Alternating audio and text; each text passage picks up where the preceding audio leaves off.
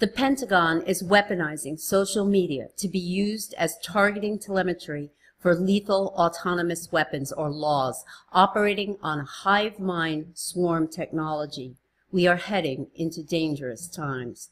The 2015 Jade Helm 15 exercise was a covert system rollout for AI-driven software to identify and target suspected hostiles using a technique called human terrain mapping to analyze activity-based intelligence based on parameters developed by human cartographers. They've now built a better mousetrap.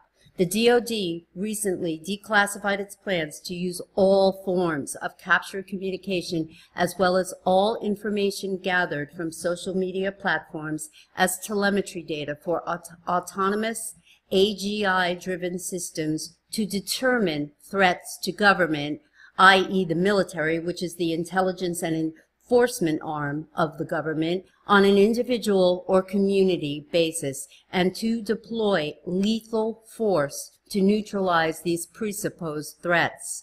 Autonomous warfare has just crossed the Rubicon with regard to distinctions between civilians and combatants.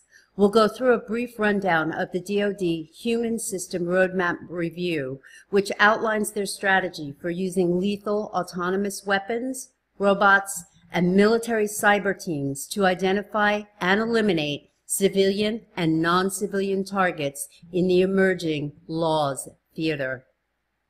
I'll post the entire 53-page DoD presentation, complete with explanations and clarification of the terminology and acronyms on the level9news.com website, complete with additional research and supporting documentation the Human Systems Community of Interest Vision and Goals stated integrated simulations for mission training and experimentation.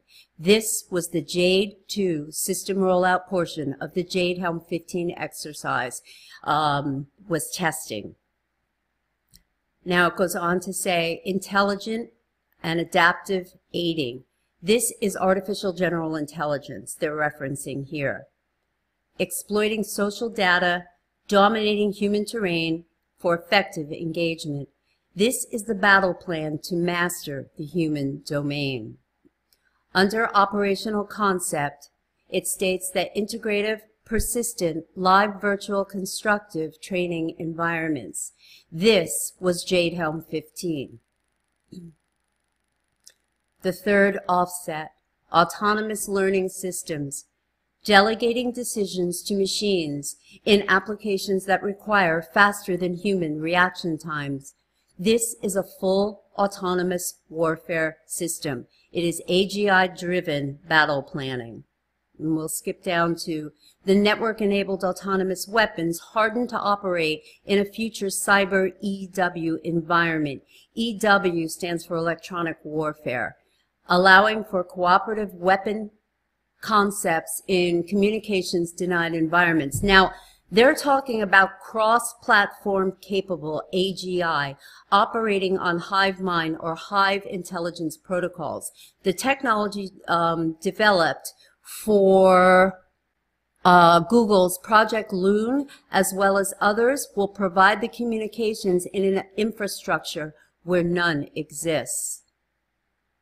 Continuing along the third offset, learning machines, mapping your mind. They will be creating digital profiles on everyone to be analyzed and categorized by the autonomous system into desirable and undesirable groups. The system will be aware of ABI being collected on everyone. And under uh, the learning machines, they're talking about creating computational models of human cognitive, psychomotor, and perceptual capabilities. This is system awareness, total system awareness.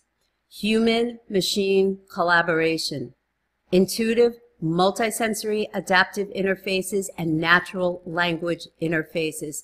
Intuitive means predict and preempt.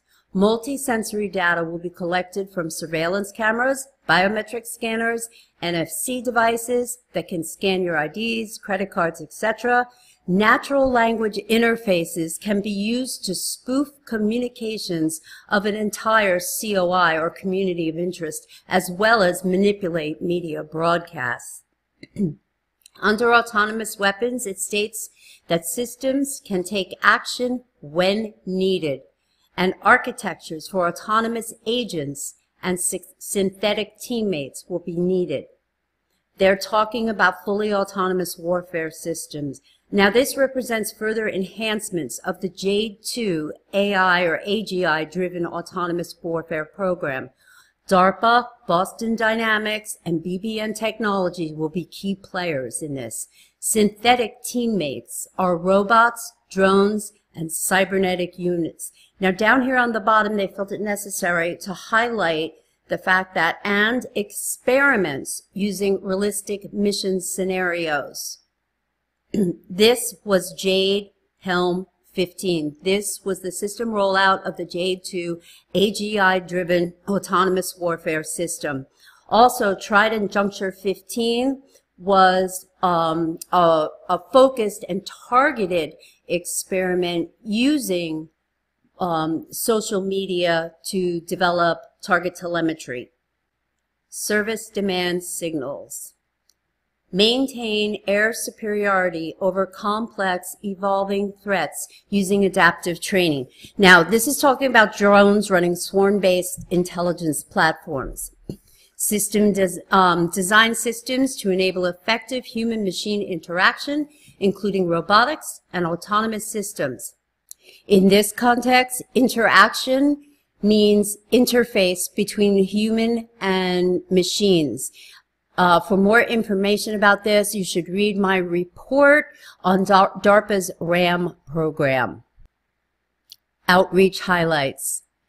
NASA participation in HSCOI, cross-agency participation in National Science and Technology Council Network and Information Technology Subcommittees. Um, this is this initiative, this strategy is being supported by Obama's XO on HPC and the creation of the National Strategic Computing Initiative, or NSCI, which he signed into law on July 29, 2015, smack in the middle of the Jade Helm uh, Jade 2 system rollout. When they found out from a hardware standpoint, they're going to need a bigger bat. The budget for this is a blank check as it will be funded based on the needs of government. Now, under international engagement, it states that the Singapore HSCOI workshop is uh, leading to uh, MINDEF DoD Human Systems Roadmap. The Singapore, this is uh, what they're talking about here is the Singapore Ministry of Defense and the U.S. Department of Defense. Uh, TTCP will require strong participation in human performance. C31 groups. TTCP uh, is the Technical Cooperation Program.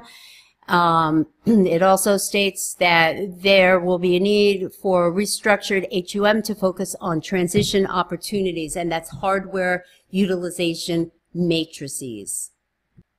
now, under the COI to COI collaborations, it states under C4ISR that human-computer interaction, or HCI, for decision-making subgroups seedling proposal funded for two years in 2015.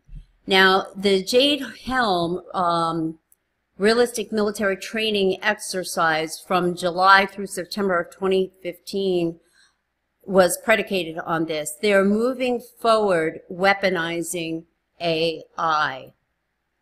Now, the CWMD, which is Combating Weapons of Mass Destructions, claims that dark web concerns, social network analyses, and counterterrorism research will be required. Now, the dark net and Tor browsers concern them as people on them are difficult to geolocate. Social media platforms will be used um, against you for intelligence gathering purposes.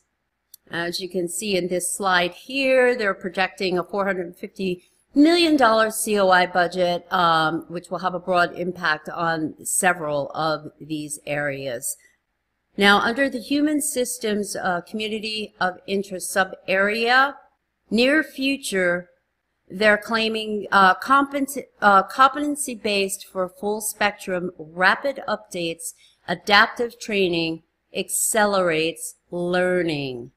Now, wars will be conducted not by generals, but by systems running AGI on the global information grid and on the IoT to achieve full spectrum dominance of the human terrain.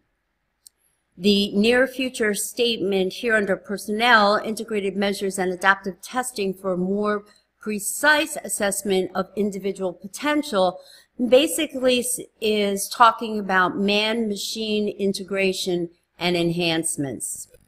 Now this slide here under thrust one, first principles for training, uh, delivering the mission, key technical challenges, delivering capability, and the entire program overview. These are all components of the J2 AI-driven autonomous warfare system that operates on the global information grid using geospatial intelligence. Now, as we fly through these slides, I want you to pay special attention to this legend over here.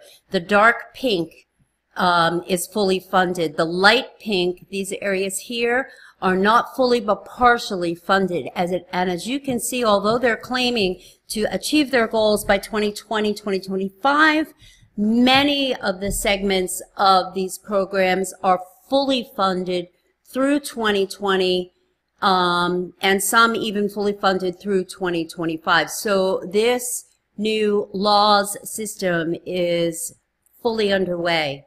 Thrust 2, personnel selection and assignment.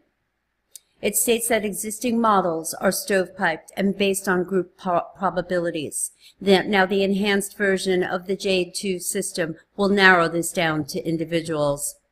It states that maintaining our competitive edge in human capital, force of future, this is human military inventory. Improve performance and retention with an emphasis on critical specialties through advancements in talent assessments. This basically um, means a migration to a technology-based versus a strategy-based military force. And under program overview, it says leverage training, S&T competency, which is scientific and technical. So they want to leverage the scientific and technical over and above the human decision-making factors.